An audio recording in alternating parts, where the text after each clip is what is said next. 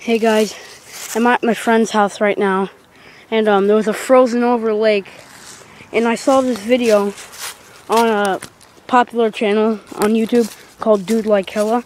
It's where he, um, that's actually a really cool account by the way. You should check it out. Link in the description.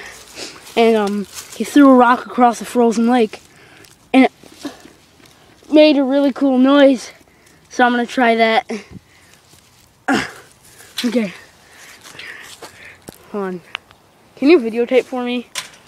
I don't wanna have to. I mean, it's already videotaping. Do you want me to go like this? Sideways. Sideways. Okay. Ready?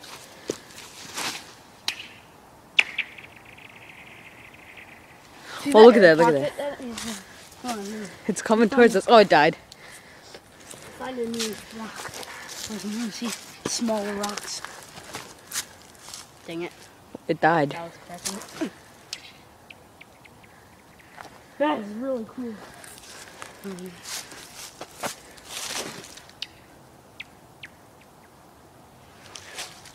Oh, That's so weird. Here's a big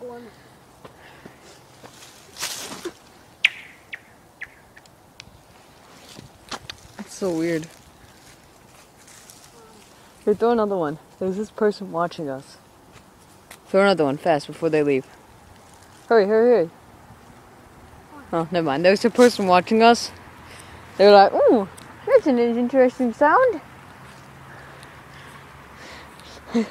I wonder what kind of bird that is.